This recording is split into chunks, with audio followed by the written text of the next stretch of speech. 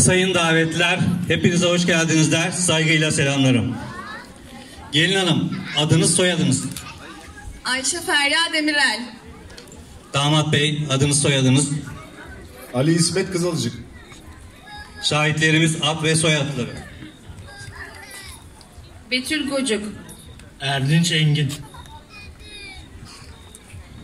Sayın Ayşe Ferya Demirel ile Sayın Ali İsmet Kızılcık evlendirme memurluğumuza müracaat ederek evlenme isteğinde bulunmuşlardır. Yapılan araştırma neticesinde evlenmelerinde yasal ve sağlık yönünden sakınca bulunmadığından nikah akitlerinin icrasına karar verilmiştir. Davetlilerin ve şahitlerin huzurunda soruyorum.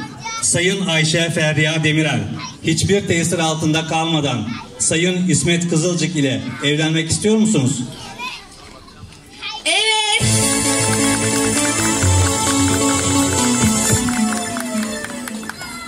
Sayın Ali İsmet Kızılcık hiçbir tesir altında kalmadan Sayın Ayşe Ferya Demirel ile evlenmek istiyor musunuz? Evet.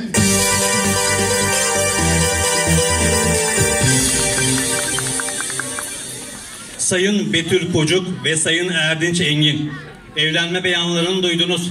Tanıklık ve şahitlik ediyor musunuz? Evet ediyorum. Ben de ediyorum.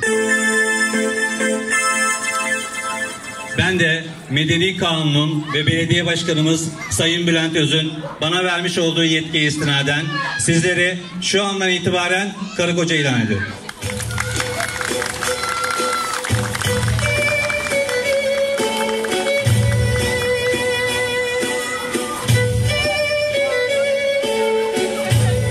Sizleri tekrar ayrı ayrı tebrik eder. Sağlık ve mutluluklar dilerim. Hayırlı uğurlu olsun.